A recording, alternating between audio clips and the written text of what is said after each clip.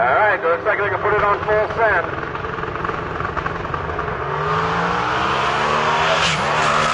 Whoa, look at Tyson do some driving there.